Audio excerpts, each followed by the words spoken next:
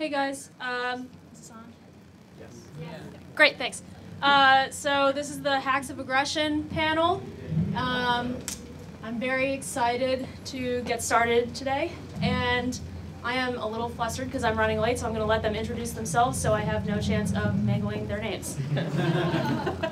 Uh, I'm Stuart Geiger. I'm an ethnographer and postdoc at the Berkeley Institute for Data Science. Hi, I'm Nabil. I'm uh, doing a PhD in Gothenburg University, Sweden. Uh, I'm Natalie Kane. I do some weird stuff with futures and art in Manchester. And I'm Megan Farnel. I'm a PhD candidate at the University of Alberta. Great. So let's just go in order down the line. Is that okay with everybody? Or does the microphone? Okay. Okay, sure. Uh, Great. And everybody has 12 minutes, and I will give you time with these and. all right, great. Let me pull this up.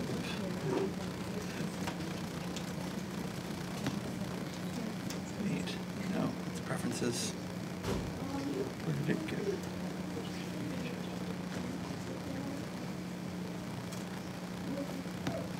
Um, How, how do I present on a Mac? I'm sorry, I don't. F5 doesn't. Uh, Yeah. You probably. oh, Hold on. yeah. Oh, you're in system preferences right Oh. now. Okay. slideshow. Oh, there it is. Uh, present. from start. Okay, awesome. Um, kind of like walk around a little bit, so I'm give myself a little, little space. Um, hi, everybody. I'm Stuart Geiger. I'm going to be talking to you today about uh, a project that I did um, starting about a year ago uh, uh, it, about sort of moderating twi- harassment in Twitter with block bots. Uh, and I'm going to just sort of sort of get to it. But it's also part of a paper that was very recently published, and that I'm not going to be able to cover all of it in 12 minutes. It's in Information Communication Society, so the stuff I don't get to. Uh, if you're interested, you can read it there. I created a tiny URL slash ICS-blockbot. I'll also post a link to that on, on Twitter if you're interested. The itinerary for this, I'm going to talk a little bit about how I got involved in this research, which sort of sets the stage theoretically for how I'm thinking about algorithms as code and law, uh, think about the moderation of, of network publics through, uh, through, through software, uh, give an introduction to what these block bots are in Twitter and how they came about, um, some sort of uh, some conclusions and some, some thoughts on uh, counterpublics, classification, and delegation. Uh, and then sort of end by sort of talking with a little bit about blockbots versus the filter bubbles concept that's sort of very prevalent in discussions about um, algorithms and publics. But before I begin, I just want to take a quick sort of straw poll. Um, how many of these uh, of you in the room are familiar with blockbots, auto blockers, block together, things like this? Okay, so some of you, but not all of you. So, um, to get to, so to get started about how I got uh, started working on this particular topic, it wasn't about harassment on Twitter. I was actually studying the governance of Wikipedia for my dissertation. Wikipedia is, according to Wikipedia, the free encyclopedia that anyone can edit. Um, that anyone can edit feature creates a whole bunch of problems because anyone can do anything, and they do.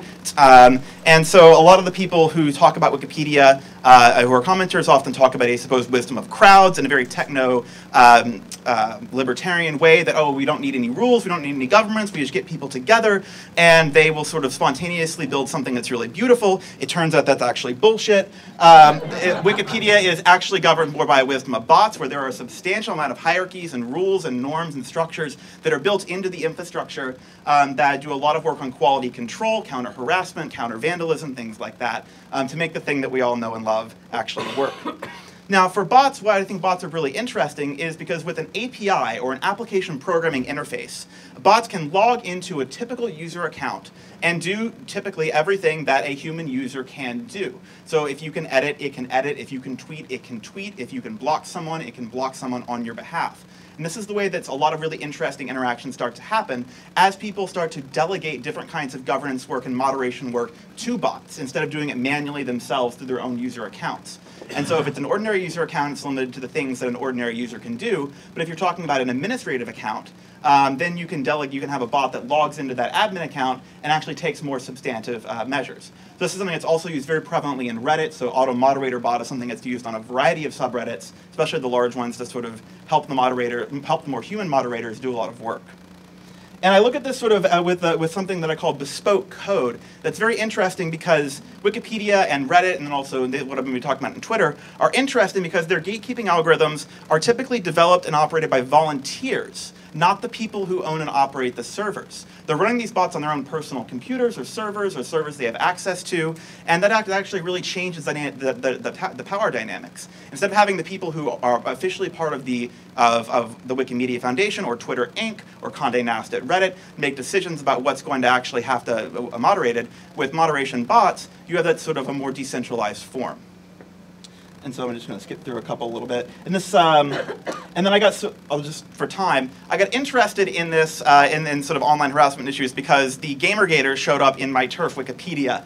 Um, and if you don't know what Gamergate, is, Gamergate is, that's awesome. Um, and and then sort of as, as, someone on Twitter, I started to actually see this sort of unfold on Twitter as well. And please don't tweet the hashtag; it'll cause a whole bunch of nasty people to come in here. Um, and I was looking around and I was seeing a whole bunch of similar dynamics in terms of you have an open platform like in Wikipedia. You have a lot of people who can do anything. In Twitter, anyone can contact anyone else by default. Um, there's a lot of sort of open by open by default, and the assumption that that's going to sort of lead to this really awesome uh, public sphere in which you know the the sort of excellent public discourse and conclusions and thoughts about how society should be run is going to precipitate out of that sort of almost lack of structure. Um, and again, yeah, that doesn't happen. That's kind of. Um, and so one of the things that I've been interested in and, and started to look at was blocking in Twitter. And the problem with blocking is that it's an individual thing. Uh, and with and what I sort of started to saw with sort of a lot of sort of coordinated harassment movements is that the work of harassment is easily distributed. You can have someone who identifies a target and post it to an anonymous uh, image board, and then have a whole bunch of people who are able to take a very small amount of work, and collectively that ends up in a really traumatic experience for the target. However, the work of responding to harassment is a more individualized task and specifically the way that the affordances are built into Twitter around blocking, make it so that it's, it's uh, for a long time was only something that you could do one-on-one. It could, and it, it, was something that if you were receiving harassment on Twitter, you could block someone, but that wasn't going to go anywhere. That work was, uh, of identifying a harasser and taking action against it uh, was only going to take effect for you. Hence the creation, this spurred the instigation and the creation of blockbots, which were a way to pool these resources together from people who were facing the same kinds of harassment from the same kinds of people, and they could curate shared block lists. So at their core, what blockbots are, are information infrastructures that, th that support third party, that is offsite, not controlled by Twitter Inc. Blockbots um, that are, sorry, block lists that are community curated. So people get together and they have a common understanding of what they think harassment is and how to, how, uh, how to identify it and how to curate a block list, or they think they have that, and that gets interesting. I'll talk about in a second when those communities fracture. Um, but then they go out and they, they build a, a automated software agent where you can subscribe to this block bot. And when you subscribe to a block bot, it works very similarly to ad blocking from a user experience perspective. But in this case, an automated software agent or a bot logs into your Twitter account, um, and it blocks all accounts on that collective block list for you. And there's also other different ways that different blockbot communities have where people can submit new accounts to the block list. So some of the popular ones that, that you may be familiar with are things like the Blockbot, uh, blocktogether.org is a general purpose blockbots as a service model, um, and the so, sort of automated GG auto blocker bot, um, which is based on a social network graph of people in the, uh, uh, based on a social network graph of sort of ringleaders of, of a particularly uh, sort of uh, nasty group that won't be, be named. Um, and so one of the things uh, that I was looking at in this research was how are these blo blockbot-based block lists curated? And I found a really interesting thing where uh, one of the great, one of the sort of really fascinating things about this particular approach to distributed moderation is that a one of these block blockbots can the block list can be curated through any given socio-technical system, by which I mean any combination of a third-party offsite platform that, that people make for themselves and a set of rules and practices that they have of how to use that platform to generate a list of block-worthy accounts. So you can do anything from a single person that they just decide who is and isn't, isn't block-worthy by themselves, and they maintain that sometimes on their own personal Twitter account. Sometimes it's a tight-knit group whose members share very common ideas and often have known each other for a long time. Sometimes it can turn into a bureaucracy where there are for formalized standards and processes, well-defined rules, definitions, examples, procedures, appeals processes. Sometimes they're automated processes using things like natural language processing to identify hashtags or network analysis. Um, there could even be, and I haven't actually seen one of these in the wild, but uh, a crowdsourced system where anyone could contribute to a block list. I, I wrote up some code just sort of as a speculative matter that you could, you could use a, a wiki to, to generate a block list or even a subreddit to generate a block list. These are very modular practices where people can swap in and out different ideas and different platforms about how to, how to curate this list of block-worthy accounts. And in the paper, I analyze this through the, lens, through the lens of counterpublics, which is Nancy, it's a, it's a, and this is a, the cover of uh, Michael Warner's book, Publics and Counterpublics, which is great. Uh, I, took, I draw a lot from Nancy Fraser's work on counterpublics, where, uh, where, where she talks about how uh, similar kind of assumption that I talked about with Wikipedia and Twitter, and then the sort of techno uh, libertarian idea that, oh, we have a public and everyone will be able to contribute. Um, and then it turns out that that sort of chills a lot of voices. A lot of people are drowned out. Not everyone has an equal voice. And hence we have sort of counterpublics that we see counterpublics that form where alternative voices are sort of uh, can be recognized. And they're more or less like safe spaces for people to, to, uh, to sort of create the uh, and, and, engage in discourse more on their own terms. Counterpublics are not new. Nancy Fraser talks about them um, as they as they arose sort of in early modern Europe. These are things that we've talked about, we've had for centuries, and I think it's really important to bring in this history when thinking about how we curate uh, a networked public sphere. But one of the interesting things about blockbots is that traditionally counterpublics are, Fraser calls them parallel discursive arenas, independent safe spaces, separated from the dominant public. Um, and, you know, uh, and you know, for, for, for people who are often marginalized or chilled in mainstream publics. But one of the things about blockbots is that instead of creating an entirely new space, where you would sort of selectively approve allies and trusted members to come in with, with special, specialized norms, blockbots involve sort of selectively disapproving certain individuals or groups um, which is something that is typically considered, uh, has been the privilege of the server sovereign, the person who runs the public sphere, the person who runs the platform on which the public sphere happens. So we're seeing sort of a fragmentation or sort of a mirroring um, of, uh, of, of, the, of, a, of a network public as opposed to the creation of an entirely separate network public. And classification is hard and never perfect, and I really want to emphasize this. Classifying harassment is probably one of the hardest things, hard, hardest challenges on the internet today. And a lot of people are really interested in doing this and, and trying to do a lot of work from different perspectives. Um, the problem is no one, there is no one canonical definition of what harassment is, nor, and I don't think that there should be. Different people have different ideas about what's going on and what they want to see and what kind of content um, they have. And there's been a, and, and and the creation of these uh, these different uh, ideas about what harassment is um, is a very ongoing social political process. I don't think we should shy away from that. I think we should embrace the fact that classification is messy and difficult, and, and it sort of speaks to people's life worlds about what's important to them, where they come from, and what's going on. So um, I'll still skip forward because I'm getting a little bit there. Um, there's been a whole bunch of block block controversies that have happened, even among people who are like-minded, who think they have the same idea of what harassment is. But it turns out when they put that into practice, they have some different ideas. Sometimes they, they fracture according to a lot of different, uh, lot, lot, lot, lot of lot of different uh, ways. Sometimes it's political, sometimes it's procedural, um, sometimes it can be, be personality conflicts. Um, but I think that uh, the Blockbot ecosystem and infrastructure is only be, only beginning. And as this sort of technique and strategy for distributed moderation grows, we're going to be seeing a lot more different sort of communities and subcommunities and publics. Um, so I'm out of time. I don't want to sort of create that. I don't, don't, want to take too much time. But if you want to read the paper, I tweeted the link to that. Uh, and thank you very much for your attention.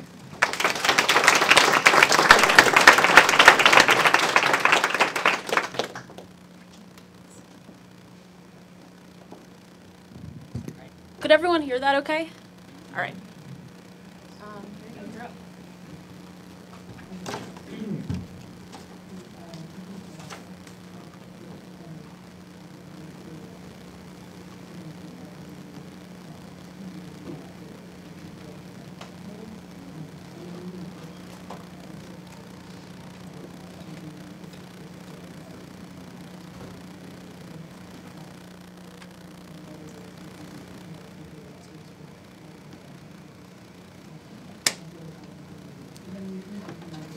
Good afternoon. Uh, well, uh, this title is a bit uh, confusing sometimes uh, as it uh, gives an impression that it's a journey. Like whoever produces a sex tape or sex, they will end up in uh, revenge porn. but that's not the case, of course. But some there is a debate concerning these practices. In one hand, we have a liberatory view that this is a consensual act between partners it's it can uh, give uh, liberation to people who can uh, use alternative uh, mediums and they can uh, participate in sexual activities, different alternative uh, uh, pleasure. But it, it is private. It is meant to be private. It's between both men and women, and particularly for women, it's about agency uh, that they can self-determine whether they will uh, participate in, in these activities and, and how they will participate. On the other hand, uh, revenge porn is a non-consensual distribution of intimate images, and media, uh, according to media reports, sometimes it is uh, projected that inter- internet is a very dangerous site for women, and uh, it's of course violation of privacy. It brings humiliation and sexual shaming for people, and it also there is a gender bias according to media report that it's uh, more affecting women. And sometimes we have a tendency to blame the victim uh, that they're the ones who started this in the first place and now they're into revenge porn uh, so no one else to blame.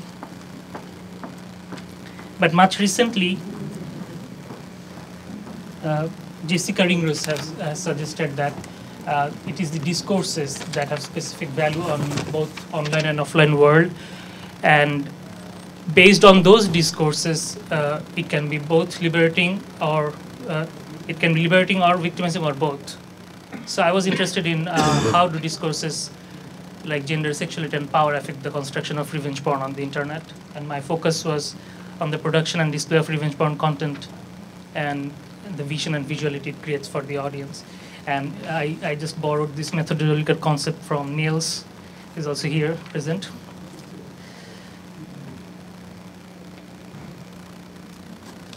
So for my case study, uh, I chose a website called myex.com. If I'm, I'm the only visitor in this website, I'll just give you some uh, characteristics from, from it. You can see, you know, there are uh, different type of uh, type of uh, uh, display technologies like a profile picture, thumbnails, uh, personal uh, information, then a story in the uh, down below. You can see there where the perpetrator or the person who is posting this, uh, he is giving a story. You know why he or she is taking this revenge, and what wrong the victim has done to him or her. And this uh, website gives particular uh, instructions how to do that you see uh, there are um, personal informations and then uh, they ask for social networking site uh, that the person is using. And then the story and you know in the end the naked uh, pictures or photos they can upload. Mostly uh, in the website i found that it's the uh, us citizens who are being exposed but it can also reach uh, european citizens and far away in asia but they are not the majority.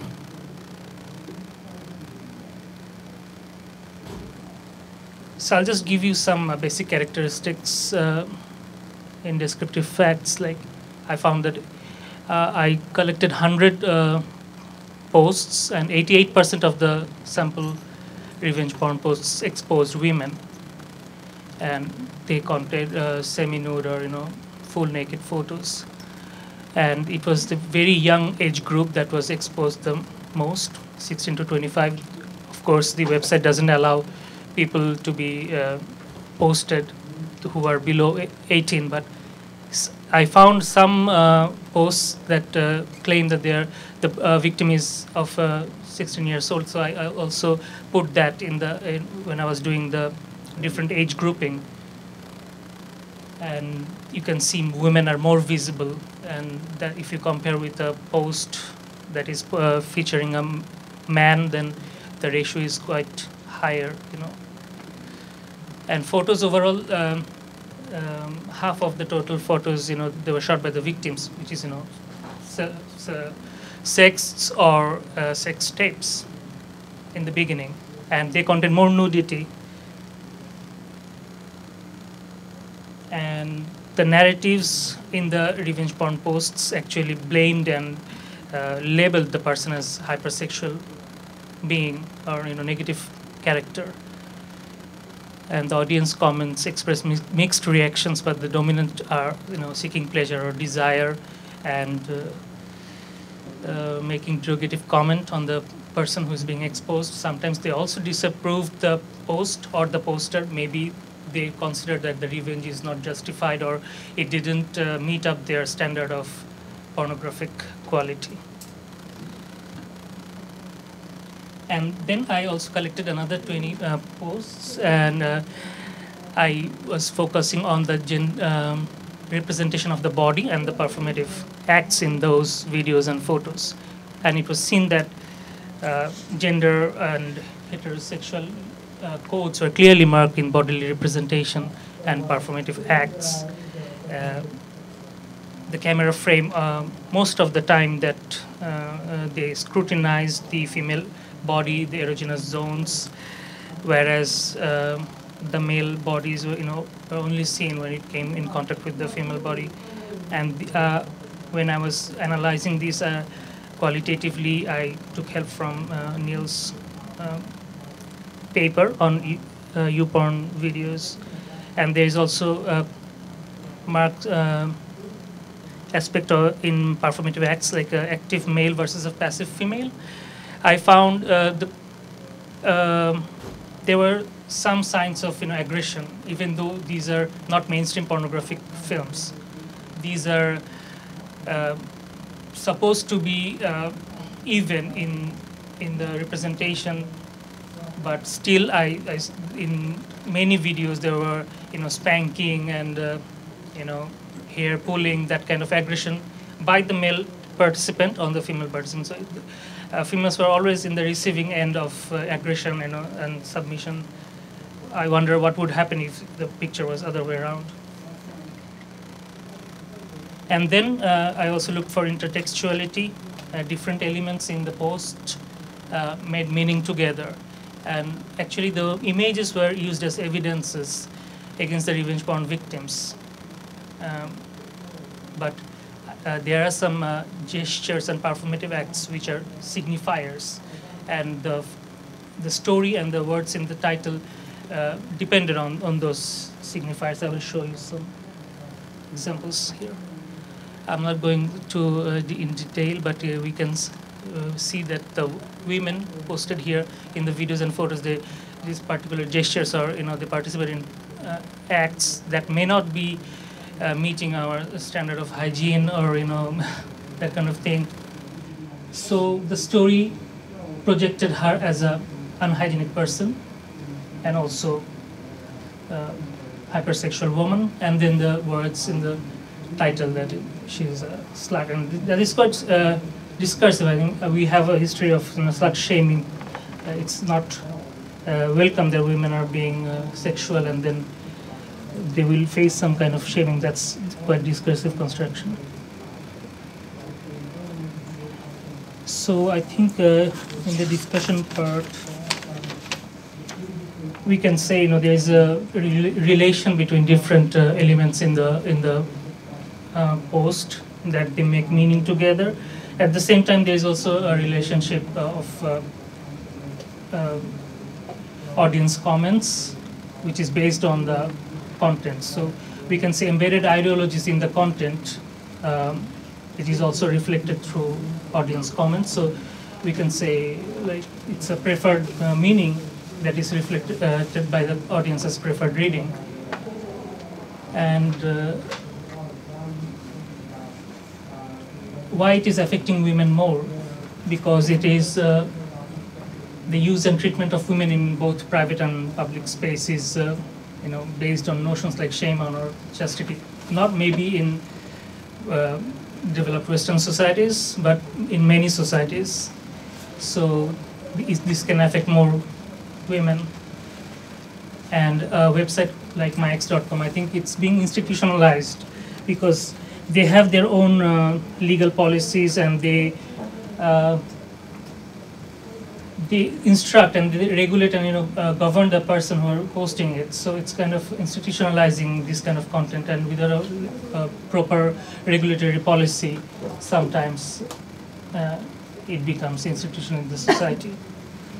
So that, that was it. Thank you for listening.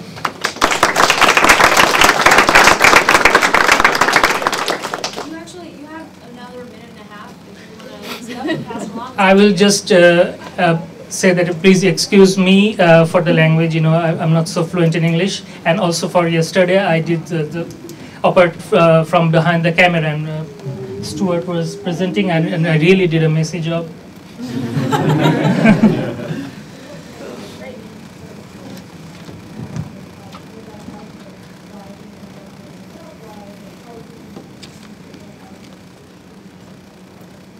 Hello. I'm just going to be really annoying for a second. I am the lady with two laptops because uh, Keynote hates PowerPoint and PowerPoint hates Keynote. um, so let's see how this works. Okay. Hello, I'm from England. Um, just, just, just, just to get that over and done with. Um, so with this talk, um, I'd like to explore a lot of the work that I'm doing around means well technology, which I'll explain a little bit further uh, in the context of services and apps online, and what this means the future of tech that attempts to improve lives for others, but actually falls foul of the institutional, society, and industry biases that author them. Now, this begins with condoms. Everyone likes talking about condoms. Um, so you've got these two 15-year-old guys who are brilliant, uh, bless them, who uh, win this science prize for the colour-changing condom, which, as you can probably guess, changes colour when it suggests the presence of STDs. Now, the problem is here, no one thought that there would be a conversation before or after your junk turns blue because you have chlamydia. because this is kind of like living in a society where um, it shows you the problem but not how to deal with it. Now, means Meanswell technology exists in isolation of how we normalize and understand apps and services online and or in general and never quite understands that users often use them differently than originally intended. Because we're humans that rub up against, no pun intended, the uh, technology in very anticipated ways because shame is a really big part of this stuff. And stigma in particular, and our understanding of sort of shame and normalcy in general, is really at the crux of a lot of this means well technology as Georgina Voss, who is here somewhere in this building, uh, said in her talk on sensitive media, uh, shame and stigma are socially constructed and vary massively by space to space or from bedroom from bedroom, uh, with the definitions defined culturally, not by the technology as an isolated thing. Now, that difference between an object as designed and an object in the world is a bit like oxidization, and with the systems that come into contact with it, a bit like rust, really. This is a really fun thing I'm choosing to do. Now, Meanswell technology doesn't rigorously consider the social and cultural frictions at play when these technologies enter the world, or how the real world outside the vacuum of innovation and the acknowledgement that its experiences are actually really, really narrow actually operate. So everything is beautiful and nothing hurts. Well done, you. That's great. Awesome. So I'm going to look at a couple of examples of Meanswell technology. So things like the Samaritan's Radar, which was appeared in the UK. Now, this app was created with really good intentions um, because it alerted you supposedly to the signs of depression in your friends' social media feeds.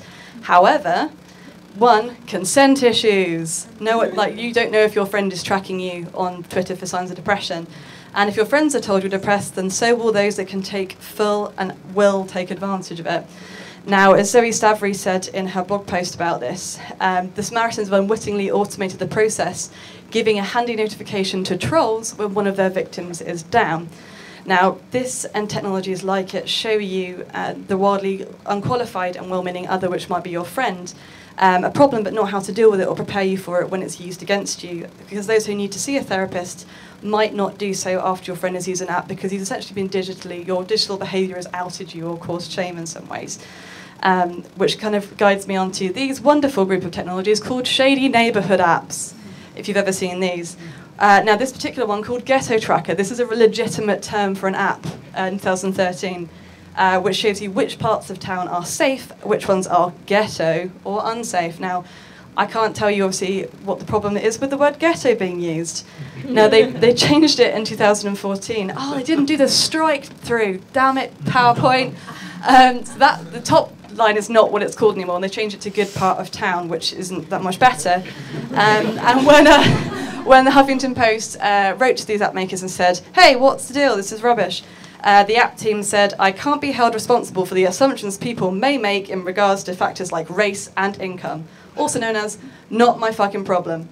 Uh, now, Pendarvis Harshaw, uh, in his article about these kind of uh, roots of um, groups of apps, So rather than bridging gaps between neighbours, uh, these things like Nextdoor is another one as well, which is really weird, uh, can become a forum for paranoid racialism. There's another one called Sketch Factor. Look at these smiley white people. Aren't they great? So they're a Manhattan-based navigation app uh, that crowdsource user experiences along with publicly available data to rate the relative sketchiness of certain areas in major cities. Now, the, the reason why I brought this example up was because the founders were fully aware in lots of interviews that racial profiling exists. However, they said that racial profiling is sketchy itself and were confident that their app would not have an issue and people that are essentially altruistic and really nice.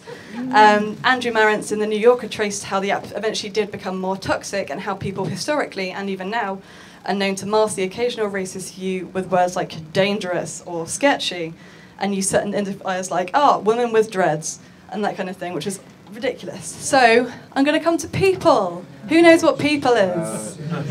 oh, it's the best app on the internet, apparently. so it's like the, the Yelp for people, essentially, and it caused a massive controversy in 2015.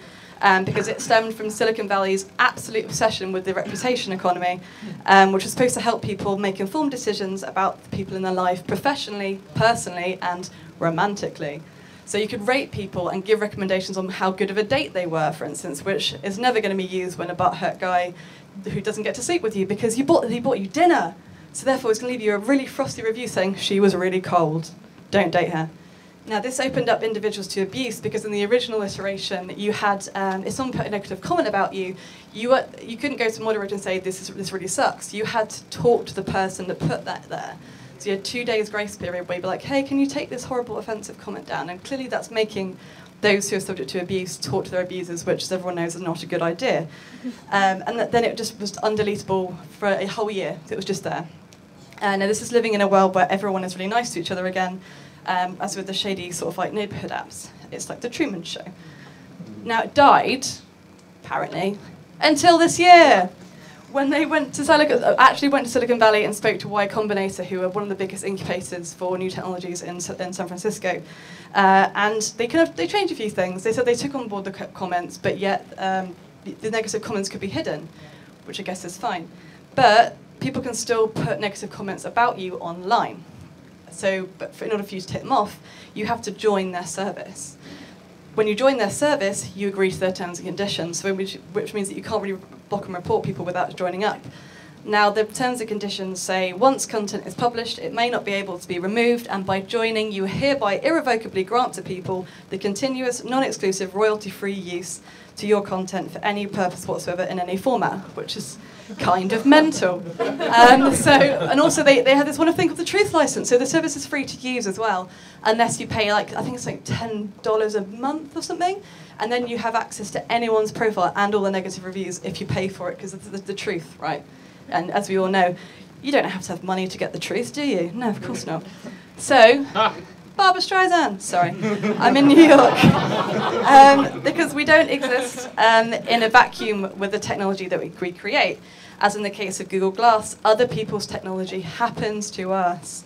Uh, we are subject to someone else's solution, and when you insert a solution into the world, it's bumping up against thousands of other people's bullshit solutions as well, which causes us problems that we're only really starting to understand. Uh, now, Evan Selinger and Brett Frischmann um, mentioned in an article about smart technologies, um, about stepping away from the programmable world in some ways, where we're made predictable by models of data collection enacted upon us, from social media to the Internet of Things to reputation apps, for the purpose of ease, betterment, or richer understandings of technology. Now, if this means well technology becomes a standard element of this, which arguably already is kind of becoming, then it's catch-all applications of kindness and helpfulness and safety, which doesn't acknowledge the instability and variety of context and behaviours, then we're essentially designing for a, world where the fire is always put out every single time, which is distracting and not right and very, very privileged. Just save your problems. Because this, this, is what this is, unfortunately, some of the things is. There's a great paper about um, the idea of when you're in a certain position of privilege, then you absolutely have like to, to know the answer and you have to solve their world problems and like that kind of thing. Um, but it's difficult to know every circumstance in which your newly developed technology can be abused. I'm not expecting everyone to kind of run through everything say, this is definitely going to happen. um, or broken with these clashes, but acknowledging that your innovation will be inserted into a system rather than a disruptor or saviour of it might just help navigate away from this kind of homogenous and programmable future that we're mistaking as being the preferable one. Mm. I'm not arguing that we should stop being altruistic, but rather address who we're being altruistic for and how. Now, oh, I done there? Now, as Deb Chachra, who unfortunately isn't here, she, but she's awesome, uh, once told me any sufficiently advanced neglect is indistinguishable from malice, which is an appropriation of the third law of Clarke. Um, because if you ignore it enough and you don't address it and you keep forgetting it and losing it out, and like an app update is not enough for you to have to deal with someone's like problem, then it, you might as well just be abusing them in the first place anyway. Now, Silicon Valley has this very perpetually reinforced progress dogma that basically just put things out to market and just see what happens, and then we'll fix it if it happens, uh, kind of unaware of the real world that they're setting out into. So, uncertainty. Sorry. Hi, Gillian. Um, but means well is the uh, attempted minimization of uncertainty and anxiety, applying certain rules that ignore the ways in which the world actually operates and who will be in it and who will have to live with it and be harmed by it. It ignores the power structures that exist because it's in the future they're kind of attempting to force. These structures will be solved by these narrow and arguably dangerous solutions. An app update, as I said before, is not enough. I love repeating myself, it's great. Um, so I'm, I'm, kind of looking a lot at intersectionality through futures design. I, I work a lot in the future, uh, which is a wildly uh, uneven place. Um, and looking at the of how you can bring futures out of like the boardroom BP shell. Hey, oil's going to run out soon. Um, futures world to more like who might live in these future, what the possible breakages that might occur, what kind of things might be there. Because things do shift across kind of context and subvert these contexts and all of that kind of thing.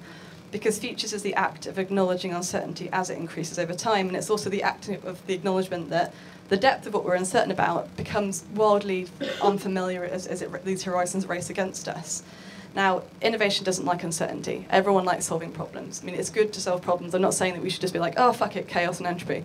Um, but, but it's important to use uncertainty as a really valuable resource and intersectionality and asking different questions and talking to different people and moving things across context because the worst thing that has ever existed is the idea of like the four person user persona kind of profile where you have four people that you're designing for and they're very easy to solve their problems because they don't exist. They're not real people. It's very easy for you to abuse people that aren't real.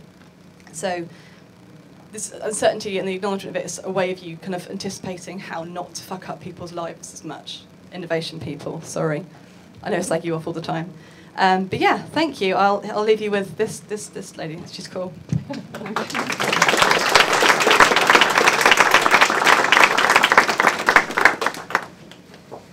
I'm the person who has to take Gillian Anderson away from you. I don't really. it's alright, she'll come back. It's true. Uh, okay. I'm going to read um, because following yesterday I am not chill. And because when I speak on this topic um, without a script, I swear a lot more. Um, all right. So whenever I um, start a paper on Gamergate, I'm faced first with the challenge of how one content or trigger warns for a paper about Gamergate. I'm tempted to really just start insisting that Gamergate is its own trigger and just kind of like leave it there. Um, but some of you have never heard of these folks before, and that's great. I'm sorry. Um, I'm going to be talking about uh, sometimes displaying um, material and, and reading from, people who use video games as a very thin excuse to harass people for being women, for being feminists, uh, for being queer, for being racialized, basically for being marginalized in any way and wanting to see those experiences reflected in the games that they play. If you faced or have faced these violences as part of your daily reality, or if they're triggering to you for other reasons because you're caring for someone in a similar position or what have you, you're welcome to leave at any point, uh, or to do anything you need to do short of screaming at me um, to take care of yourself in that moment and indeed I really encourage you to do so. Hearing and seeing this stuff is not work that I or anyone else should actually demand or force on you. Because here's the thing, Gamergate is boring. I don't say this to be edgy. I don't say this to belittle the experiences of people who have been targeted, just the opposite. When I say Gamergate is boring, what I mean is that as a movement, and even that language is super questionable, but uh, its tactics, harassment, threats of violence, its aims, the continued surviving and thriving of misogyny, heterosexism, racism, and their representation in video games, They are neither new nor in any way interesting or subversive. Most of us, particularly those of us who live and work uh, with these things daily, we're pretty sick of talking about them by now.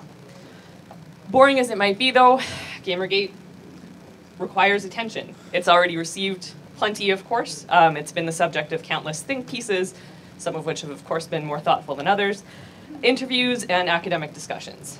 With varying degrees of complexity and nuance, many have centered around variations um, of the same question, articulated best by Zoe Quinn, one of the movement's earliest targets. Quote, this can't all be about just petty slut shaming and vague accusations of conflicts of interest that were immediately debunked, can it?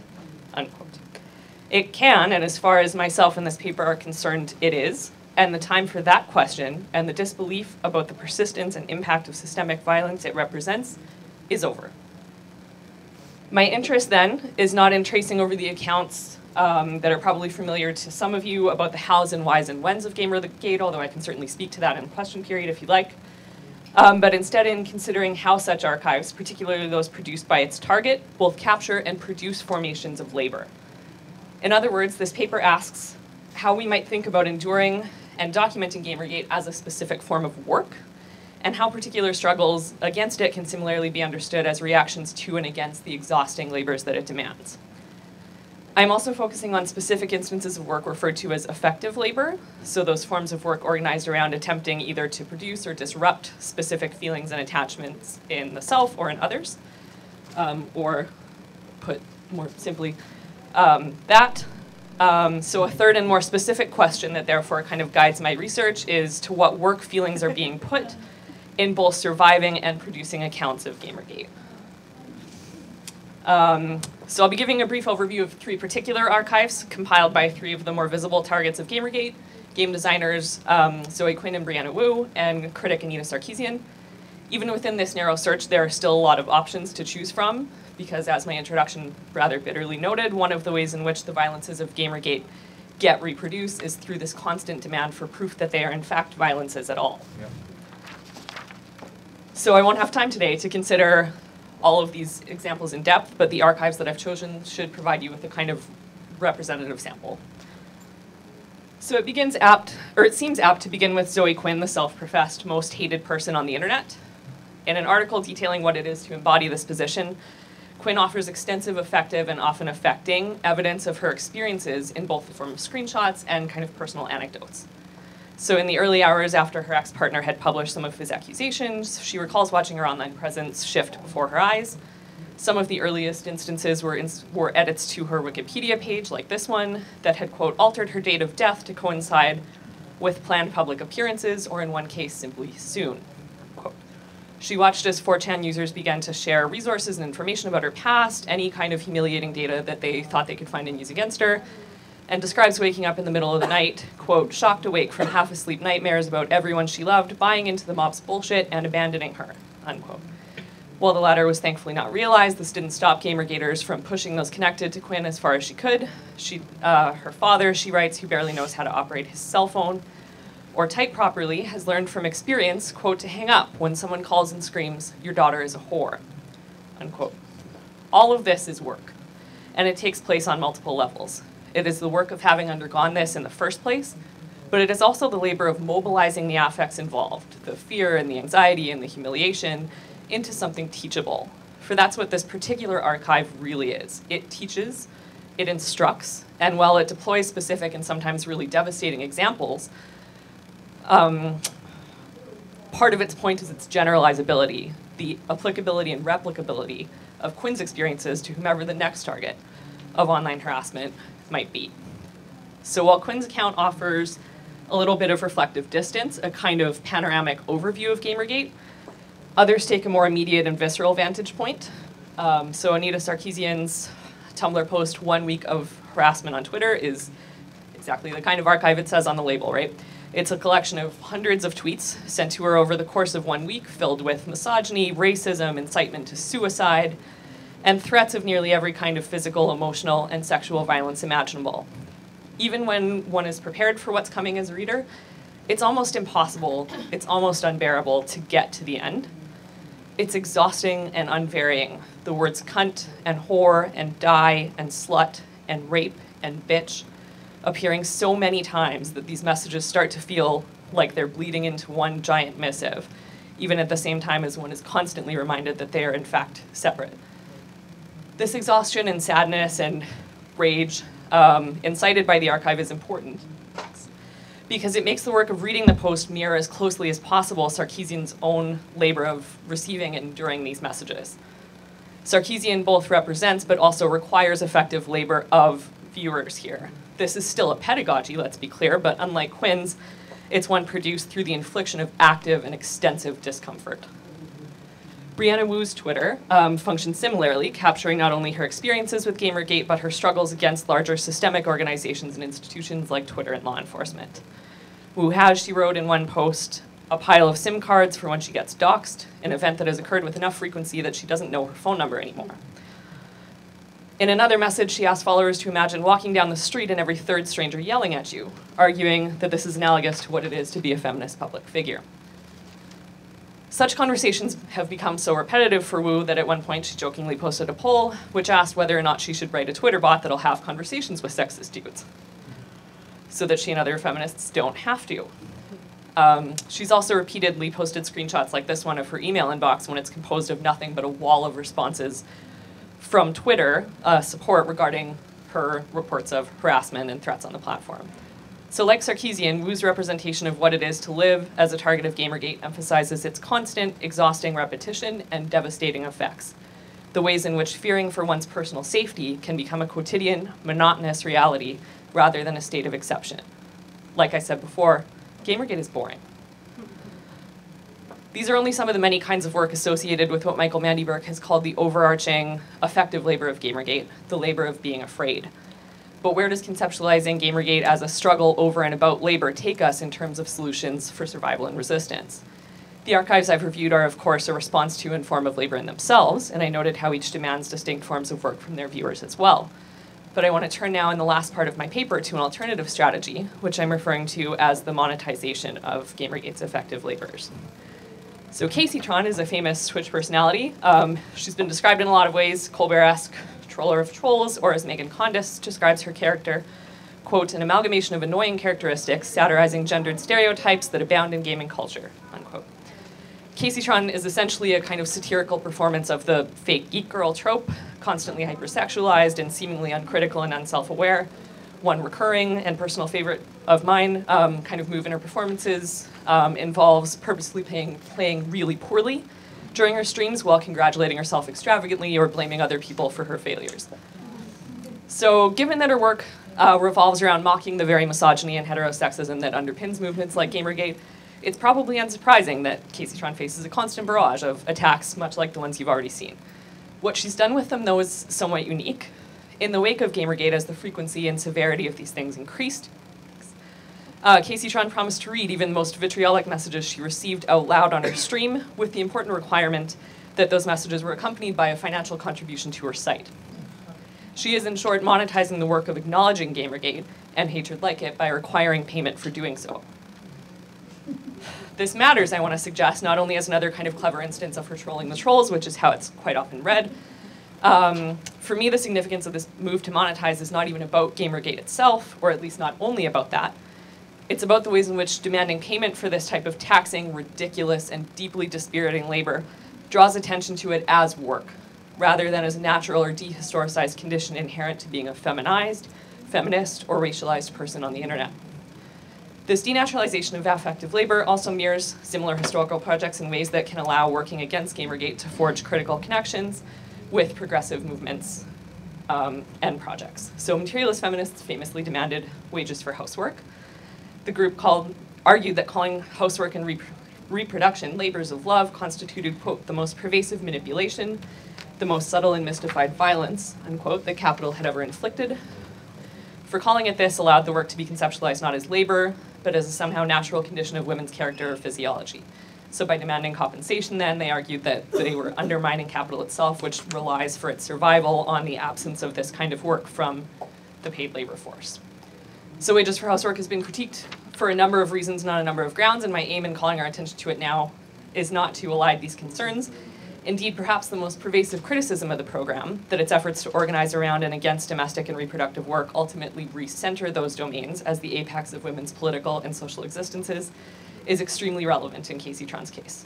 After all, it's one thing to insist that dealing with hate groups like Gamergate is work deserving of compensation. It's another to imagine basing a political movement around such stunningly abject conditions of possibility. The truth is that no payment can ever be enough. The truth is that the only prospect worse than wages for Gamergate is dealing with its bullshit for free. The truth is that all our responses, archiving, reflecting, ranting, monetizing, they are none of them enough, and they are all of them central. I have one sentence, sorry. The truth is that the work of imagining beyond violences like Gamergate requires surviving violences like Gamergate, and that the work of doing so is sometimes as unbearable as not doing it. The truth is, as the Lies Collective puts it, that everything we write, and allowed type, code, play, and feel will be used against us. Thank you.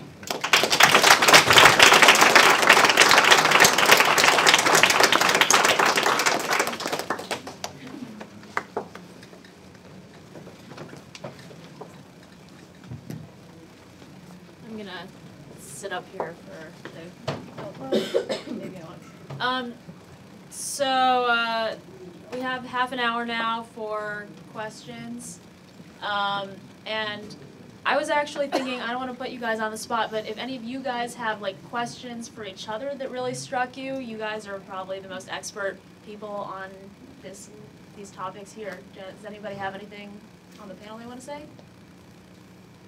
Okay. I might in a little bit. My brain's still like soaking in. Yeah, let me know. Let me know. Um, so one question that I had to start things off is uh, we had a few different things about GamerGate here, and I'm kind of curious, like why so much uh, attention has been paid to GamerGate compared to other forms of online harassment. Like, is there something specific about GamerGate that uh, really challenges people? Other, is it just the volume of attacks, or is there something like special about GamerGate itself and its content that is especially important? Is there something special about Gamergate? They really think so, um, but no. Um, I mean, I think part of it, for me at least, was just the um, transparency of its hatred, um, right? That there's a way in which um, the types of hate that are kind of at work in Gamergate are so easy to see and so transparent compared to a lot of other similar, excuse me, similar projects. Um, and despite that transparency, there's this persistence of disbelief, right? That that question from Quinn that I started with, people constantly thinking like, this can't be it. There has to be more. And I was really interested um, in that kind of denial and that kind of persistent disbelief in the face of overwhelming evidence that yes, this is just this is just sexism, this is just racism. I don't know if I'm wildly unqualified to talk about this probably. Um, but there's a there's a great um, conversation I've had with a couple of people about Gamergate in terms of how it relates to things like British politics. So in the uh, in the UK, there's a kind of ongoing joke that the the right will unite over anything unanimously, collectively, and just go go at it, while the left will decide will be squabbling about what that thing is. And the things with Gamergate, it literally is a case of like mass mobilisation over one thing that they think is the right thing, but isn't, and then it just basically becomes blurred to a point where it's just, as Mega says, just mundanity. And I think they like, yeah, so they like the idea of it being this kind of, I don't know, cultural thing that people might study, but in a good way. But Yeah, I sort of I've, I've thought about this and I keep going back and forth. Um, I, I do think that uh, the the movement is, is more organized than a lot of sort of previous previous ones. I think it's larger, um, more uh, like as an organizational scholar. Also, it's it's efficient, um, and I think that's an important you know thing that sort of noted. I also think that there is a kind of Trump effect that happens where even in critiquing it, it raises the profile, and so it becomes a cultural touchstone for people um, on all- sort of all, on both, sort of both sides and. I think that's something to also be wary of. It's why I tr- try to not sort of explicitly mention the movement by name too much. I don't use the hashtag uh, in those particular ways. I think that that is actually sort of what gives it more traction um, and power and cultural legitimacy.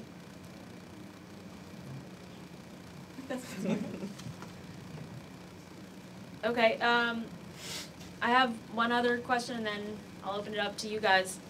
Uh, I thought, so I noticed that, uh, there were a lot of like heads nodding when, uh, intertextuality was mentioned. And I guess I just want to throw out an open-ended question, like if you guys could talk more about how intertextuality or the idea of aggression or hacking relates to like why we should see it as a discourse what's what's the advantage of that for us as critics or intellectuals to look at it that way? Um, i'm just really curious especially because so much of hacking and aggression seems about the intrusion of one discourse into the other. It's an intrusive act. So maybe you guys could talk more about that if anyone has ideas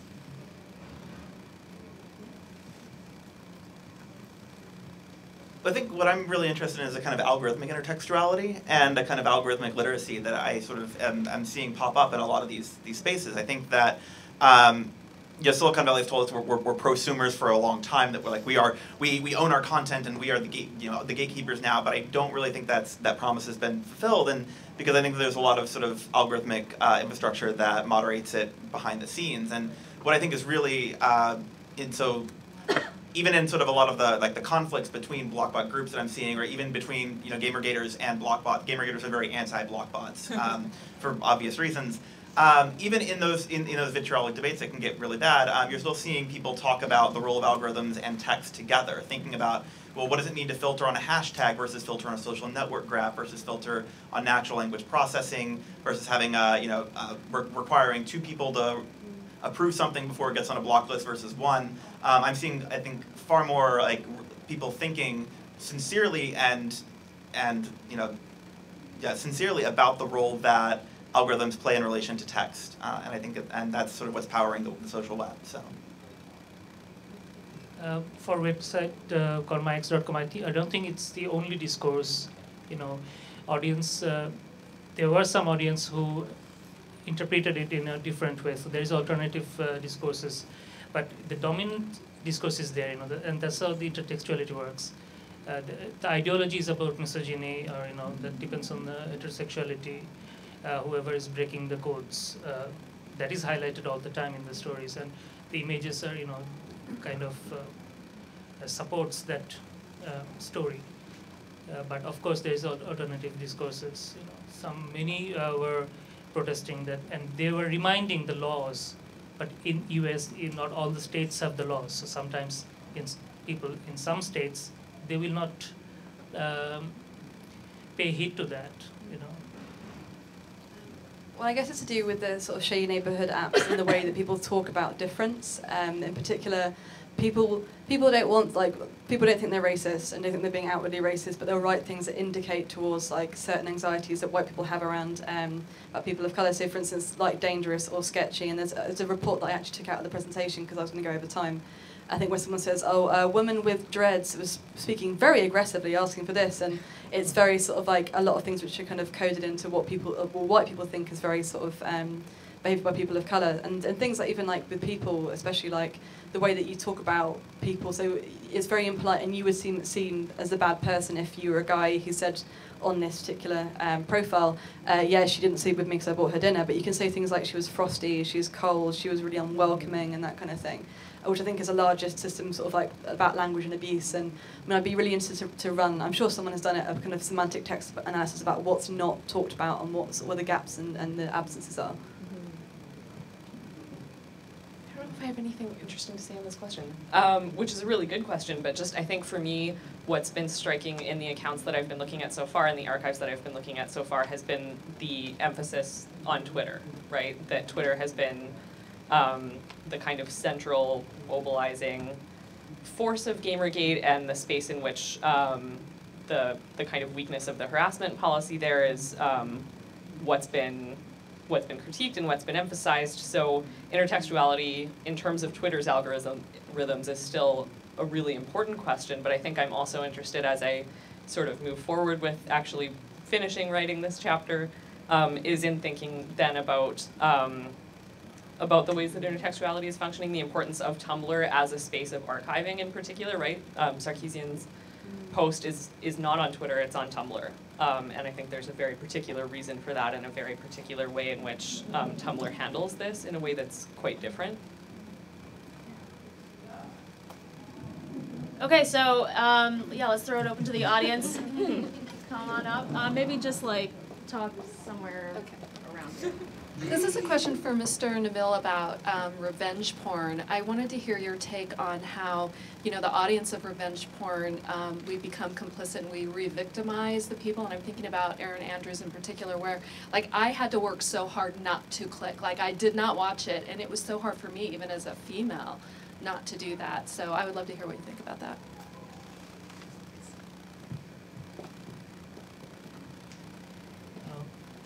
Sorry, I, uh, I just missed the main uh, point of the question. Uh, What, like, what do you feel about the re-victimization? Like, when, when audiences watch the revenge porn, like, he becomes complicit with the person seeking revenge?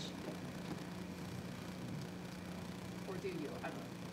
I don't know. I, um, re-victim, I don't know how you can uh, call it re-victimizing. Um, this audience will, uh, in any ways, they they they will uh, look for porn uh, content, and this is just another genre. But uh, audience, which audience you talk about? Um, some people there are uh, supporters of the victim. They are also watching it, and they, they comment on that.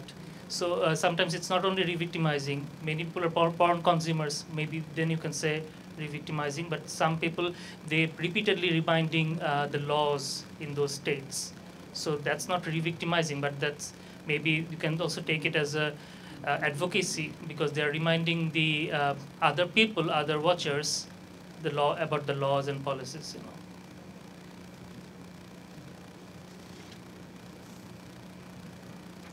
More questions? Yeah. Can I project from here? Is that fine? Um, well, I let's see if maybe we can get the. Mm, sorry, I want to make sure that the people live we have another can- mic. Oh, we do. So this is also for MD Nabil. I noticed in one of the slides on your second point, you said that sites like MyEx have a lack of proper regulatory policy. And I'm wondering, for a site that posts non-consensual sexual content, what a proper regulatory policy might be. Thank you for coming up here. That is a very good question, and I think there is a lot of debate about it. Uh, in some, so I can give you examples. There are some studies uh, on you know different legal frameworks in countries. For example, in Asia, uh, in my, uh, where I come from, uh, there there's the law that you can't even produce anything. You know, both sexting is illegal and revenge porn is of course the illegal thing.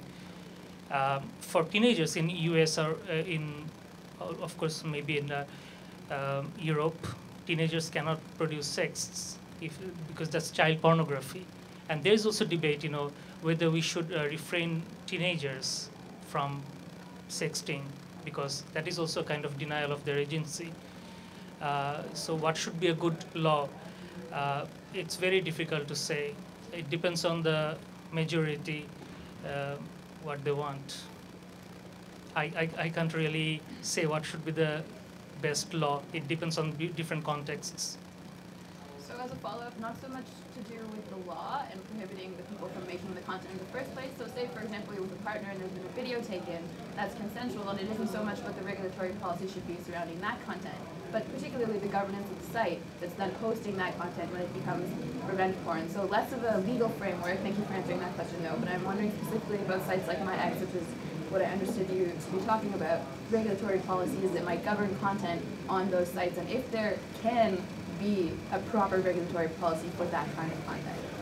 Um, I think, um, like I took some some courses in criminology, and there is a very you know common uh, thought that uh, you don't have to be a pervert or a big criminal to do these kind of things. It's just a routine activity. If you have the opportunity, uh, internet gives you anonymity. You, you are not identified, uh, and then they do it. You know, so it's. Um, I think people will take um, you know precautions. Everyone does it. Uh, you know, when you are in the street, you, you have your own ideas. You know how to be safe, right?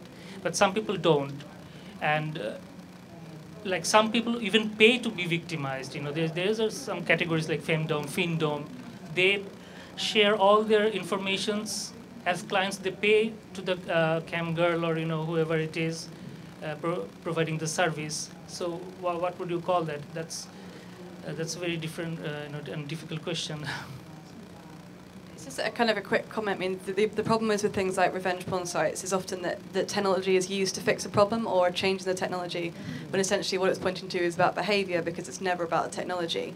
We shouldn't, in an ideal world, have to deal with the fact that there are women's pictures being put up unconsent, like on without consent online. There's a kind of drastic educational sort of issue here. So maybe it's not a technological policy in some ways, but more of an educational one in terms of like informing consent early. I mean, I know that lots of countries do talk about it, and the idea of trust. Um, I mean, there's a, great quote by Natalie, who I think is here. Um, I'm going to get it horribly wrong, but she said that trust is the uh, future congenital. Uh, it's getting it wrong. Basically, paraphrasing, that um, trust is you essentially anticipating what other people might do to you in the future.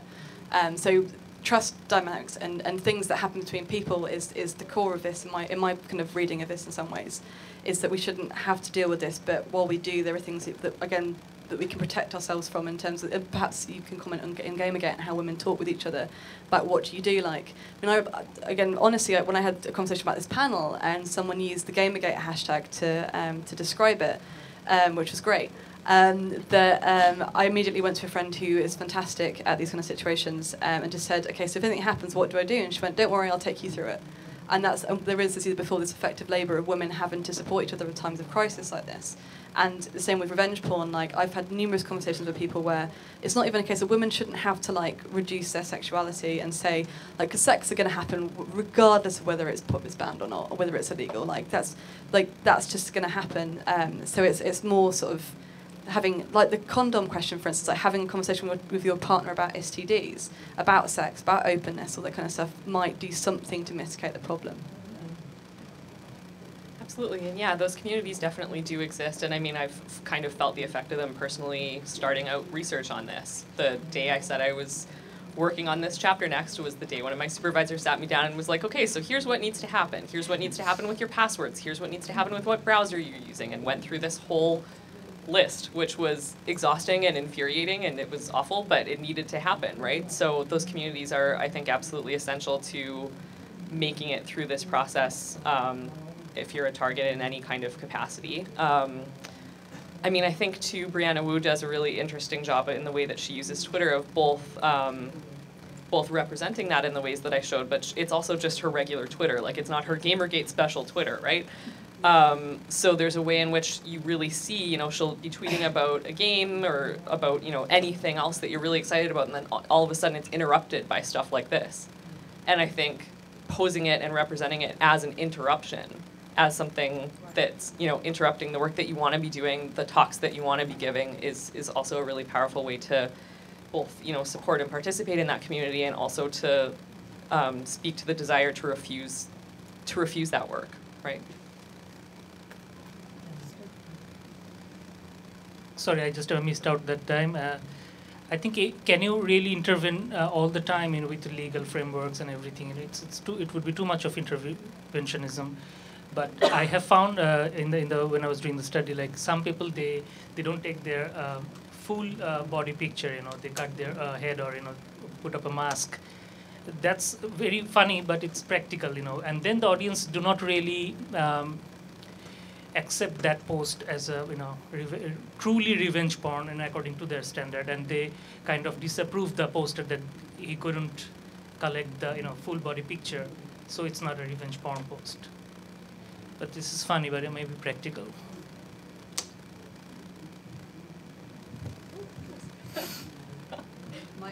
We have time for another, probably two questions. Does? Okay. Uh, regarding the Peeple app. Um, so I think it's I think it's sort of jokingly or, or just as a, as a handy description called like Yelp for people. Um, but that's interesting because I think you know it, it's not like Yelp is you know Yelp has its own problems. Um, the people who contribute to it create this lens into reality that everyone else who uses it uh, you know see the content through and it's a big it, it's a it's a stark difference between the users and the kind of creators um, so i was just wondering if you had any thoughts on kind of how the creation of apps creates a lens or an opinion or you know for the benefit of of whom and if that's by design or just as an artifact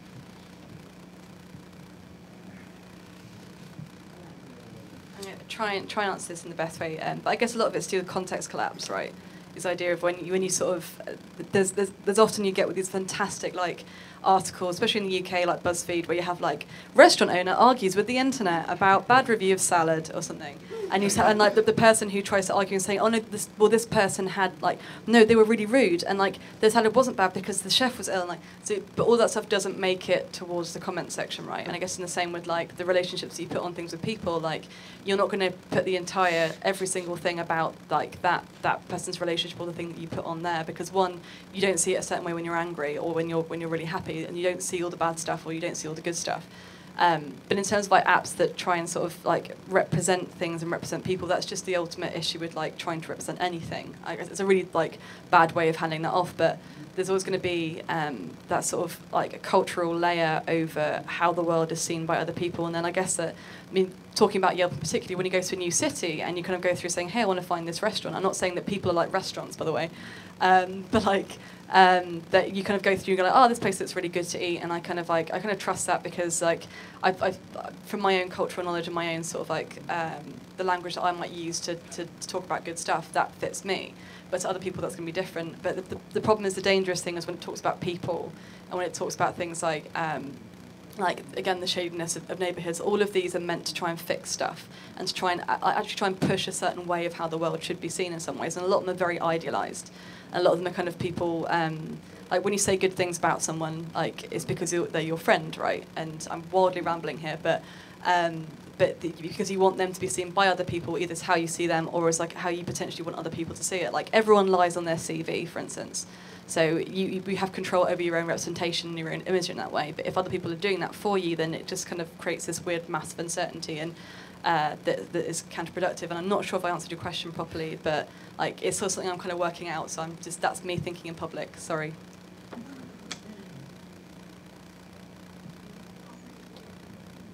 Okay, we have four minutes left, so go for it. Okay.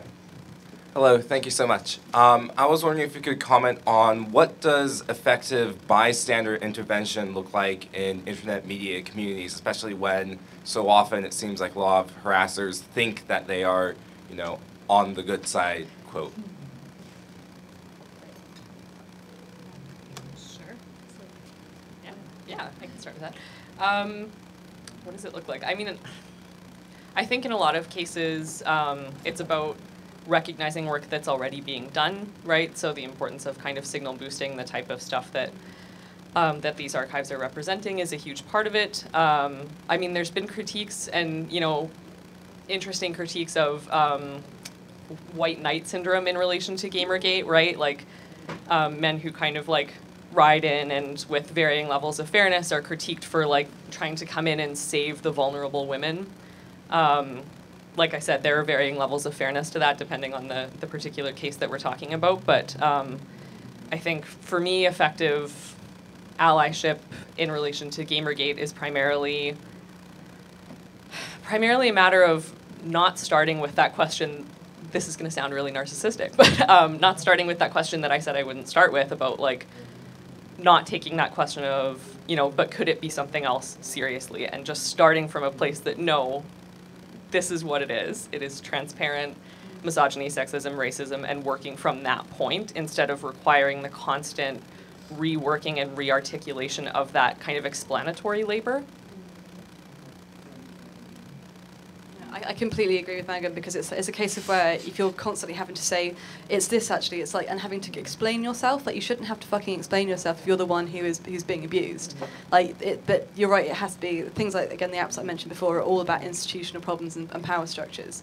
Like it's and, and being sort of an, an ally if, if that's kind of what, what we're talking about is is is empathy and knowing that it's happening. Like you mentioned beforehand, like um, I've, I've had conversation, uh, particularly unfortunately with men, about how big of a deal Gamergate is or how big of a deal revenge porn is, because often the people who are the most vulnerable are the ones like who experience that most, and therefore if you're not vulnerable, you don't experience it. So if you're a white male from like San Francisco, you're probably never going to be like stopped in the street because you look a bit dodgy, and you're never going to have like your junk, which you're probably given to people by accident anyway. Bye Felipe is a really interesting app. I've actually just discovered it, which is where women basically show the, the kind of shit that, that men uh, send them. Um, because they're always the one going like, oh, it's okay, it's fine. My, my, my dick won't appear on a revenge porn site, but I guess it will in some ways.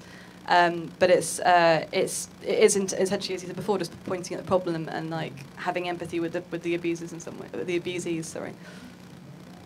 Uh, some of the advocacy agencies, you know, they they spread out a lot of advices what to do and what not to do, and um, it's some most of the time it uh, addresses the middle class white women, you know, the teenagers.